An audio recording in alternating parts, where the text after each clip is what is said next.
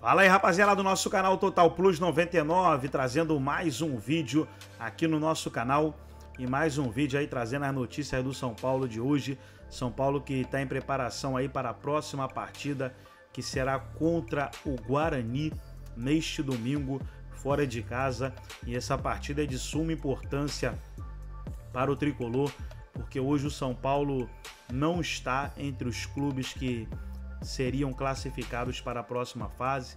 São Paulo não está no G2 do seu grupo, né? Lógico, tá com jogo a menos, vencendo esse jogo a menos, entra no, no G2, mas é, precisa dessa vitória contra o Guarani.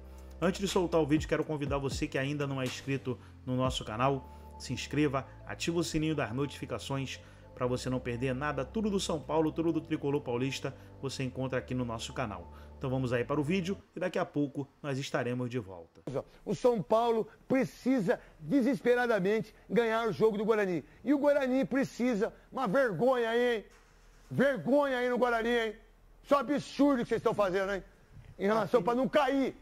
O Carpini estava pedindo né, uma semana para poder trabalhar, teve essa semana. O que a gente espera é que o time melhore, né, principalmente na sua criação, né, em termos de finalização também. Agora tem esse fato do Rames aí, a gente não sabe se ele vai jogar ou não vai, o que, o que vai acontecer. É na reserva, irmão. É, mas eu acredito, não jogando nada, pô. Mas eu acredito muito na vitória do São Paulo. Acho que o Lucas está liberado também, o Rato que bom, volta. Que bom pro São Paulo. É, então vai, vai jogar que com o time completo. É ruim pro Guarani. Mandar um abraço pro Marcelão aí, que trabalha no Brasil Urgente fez a cirurgia da fimose, né? Aí deu um problema, deu, acho que deu infecção e teve que capar. Parabéns, Marcelo, que Deus abençoe você. Abração pra você. E aí, Veloso Guarani São Paulo? E aí que a situação é complicada pro Guarani, né? Brigando lá embaixo da tabela, precisa ganhar contra o São Paulo, que também está fora da zona de classificação. E o São Paulo, maravilha, contra o Guarani, sábado, que você fez muitos jogos. Você fez a final, que roubaram o Guarani lá roubaram o Guarani em 87, a final de 86. E aí, maravilha, rapidinho. São Paulo enterra o Guarani lá nesse final de semana e depois o São Paulo ah, tem mais queria te convidar para ir para Campinas. Não, já vai. É legal, mas você fala que vai ter aqui em terra, velho. É, porque tá mal. O seu Guarani tá péssimo, ridículo. Todo ano tá é a mesma coisa. São Paulo de quatro jogos, três fora e um em casa, que vai ser o clássico com o time do Palmeiras. Mas eu acho que o São Paulo ele se classifica. Colocar o gol. Segue para a próxima fase do Campeonato Paulista. Todo mundo ali no grupo D. E hoje, o expediente Maria. de João Paulo Capelani Zica. é lá no São Paulo. Hoje você não tá com as mordomias pertinho do gramado, na parte de dentro. Hoje você tá aí fora, com a população, com a torcida. Ô, Capelanes! Sextou, hein? Boa tarde. Hashtag sextou, Renata Fã. Beijo pra você, Dedê, meu parceiro. Tamo, mas não tem problema. Estamos aqui na parte de fora, junto com a torcida. Hoje não tem tanto torcedor do São Paulo assim, que os jogadores estão chegando aqui na Manhã do Gato, realizarem aquela atividade necessária. E aqui eu fico prestando atenção, já que a gente não pode acompanhar o dia a dia do CT, a gente consegue pelo menos ouvir os barulhos dos apitos. Aqui alguns gritos. Vai! Pega! Pi! Não, de novo! Então dá pra pelo menos dar uma sentida aqui em toda essa atmosfera que tem que voltar a ser positiva. Porque hoje o São Paulo, tudo bem, tem um jogo a menos, tá fora dos classificados pro mata-mata. Gente, é o seguinte, Charles, já presta atenção que eu falar uns 10 minutos aqui, hein? Tem muita informação do tricolor, então ser o mais breve possível, porque tem muita coisa. Rames Rodrigues, torcedor, eu sei, você quer saber quando é que ele volta. A gente conseguiu conversar com algumas pessoas ao longo da semana, ele está bem fisicamente.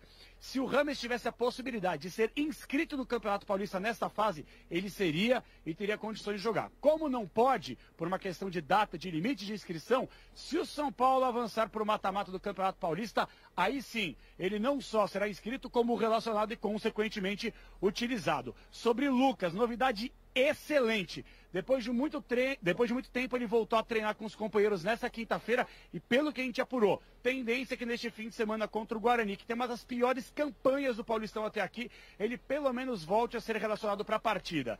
O problema, Renato e amigos, atenção, é em relação ao sistema defensivo. A pergunta é: o que o Carpini vai fazer uma vez que ele não tem jogadores importantes? Por exemplo, Arboleda está suspenso, Diego Costa está suspenso. Tem o Alan Franco? Tem. Pode contar aí nas próximas partidas com o Ferrarese, que voltou aí depois de um longo tempo, também pode.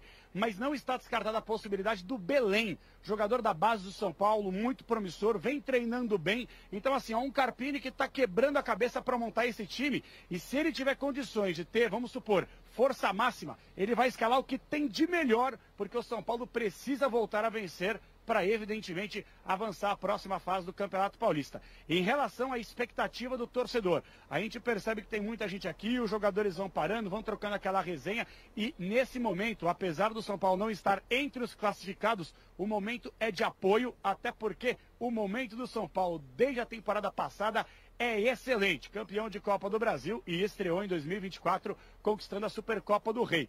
A gente vai seguir aqui ao longo do debate. Jogadorada que passar por aqui, a gente tenta captar para pelo menos dar uma sentida. Como é que o São Paulo entra em campo neste domingo contra o Guarani? Lembrando, o Guarani tem a segunda pior campanha desse Campeonato Paulista. Então não tem adversário melhor mesmo sendo fora de casa, para o tricolor ir até Campinas e voltar com mais três pontos na bagagem na tabela de classificação, Renata Fã. Boa, Capela. Obrigada pelas informações. Foi completo, né? Boa. Já atualizou a situação do São Paulo, final de semana, adversário é o Guarani. Paulistão voltando com tudo. Volta também para o Palmeiras. Palmeiras. Que... Então, pessoal, foi o vídeo onde os comentaristas debateram aí sobre a próxima partida do tricolor.